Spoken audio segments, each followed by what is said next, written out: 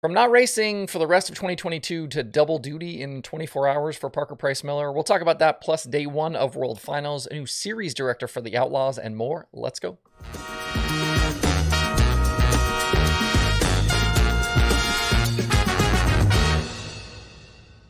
It's Wednesday, November 2nd. I'm Justin Fiedler. This is DIRTRACKR Daily.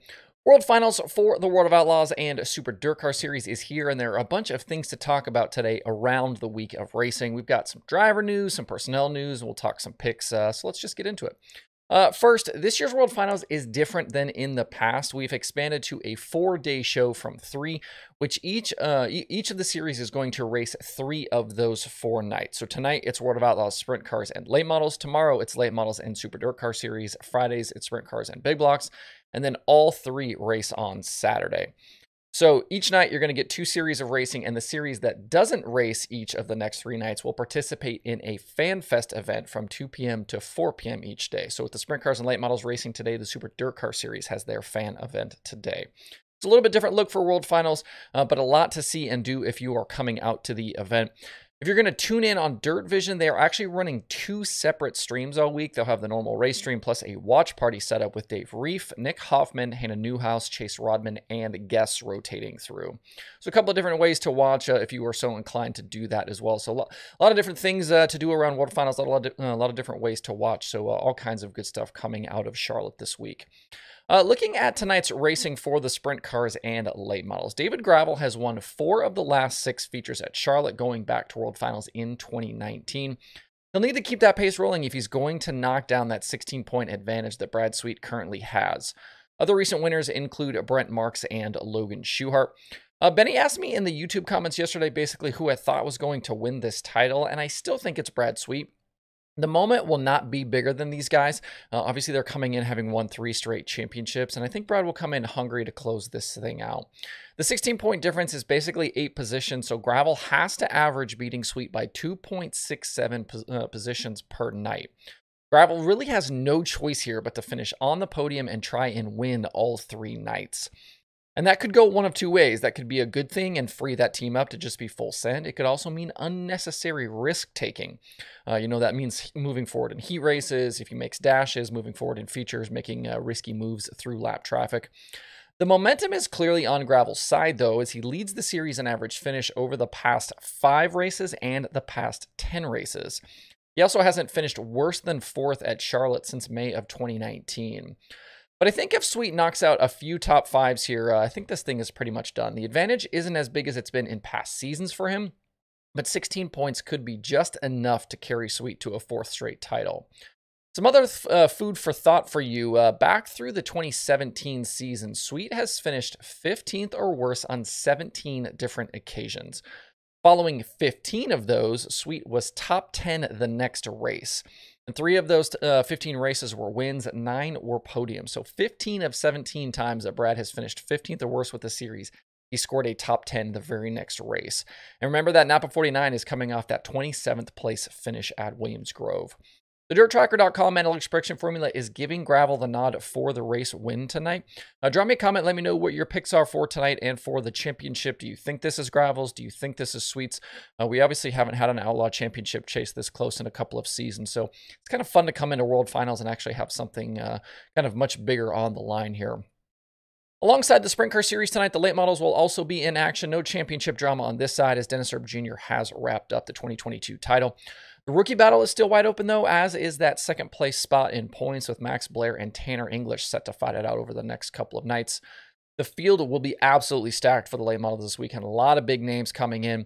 Uh, besides the Outlaw regulars, you're going to get Jimmy Owens, Brandon Overton, Lucas Champion Tim McCreadie is coming, Jonathan Davenport, Scott Bloomquist, Tyler Erb, Chris Madden. Hudson O'Neal will be uh, in his first appearance in that Rocket One, so that's something to watch over the next couple of days.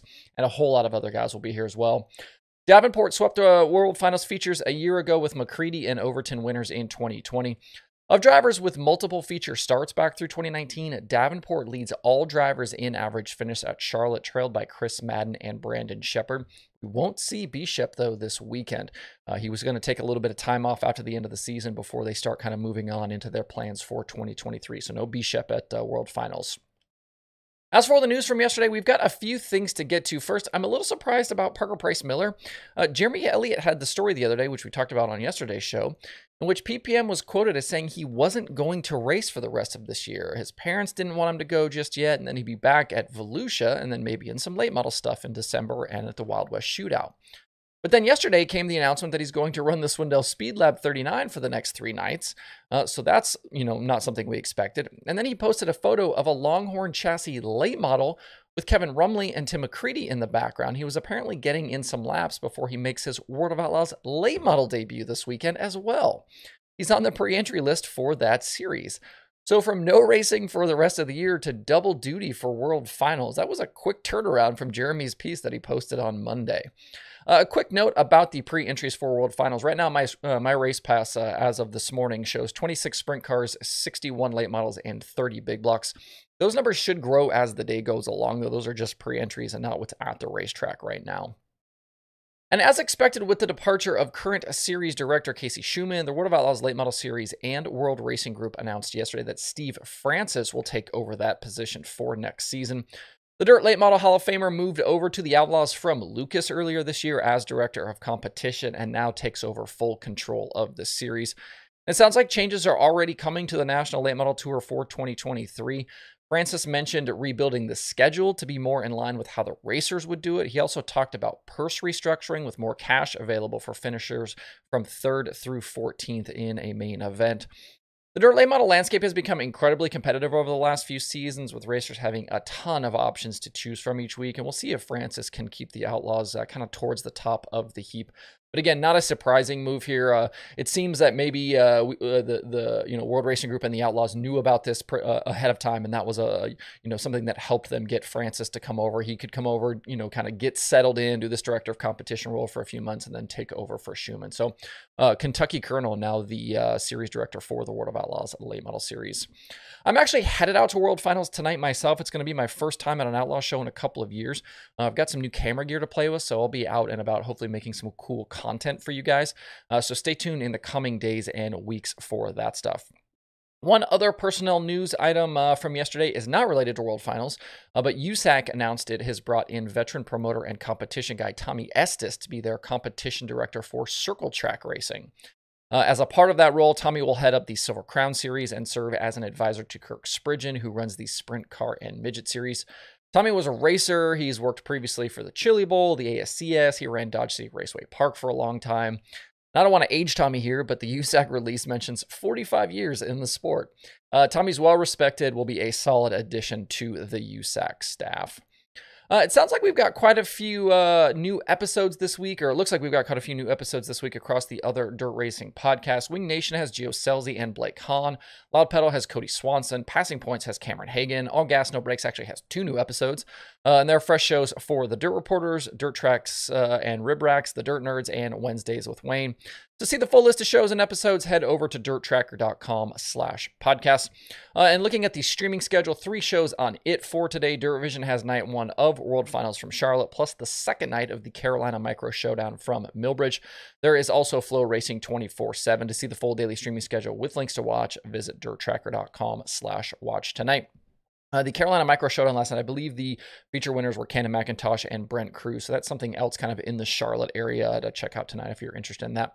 Uh, that's it for the show today. Have a good Wednesday. Please hit that like button and subscribe to the show if you do not do so already. Thanks everybody for tuning in. We'll see you tomorrow for more DIRTRACKR Daily.